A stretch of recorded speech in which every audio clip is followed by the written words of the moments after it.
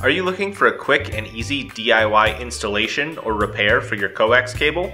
Our Times Microwave 75 ohm N male crimp connector for LMR 400 will provide a simple solution for your wiring needs. The three-piece connector consists of the connector housing, the pin, and the ferrule.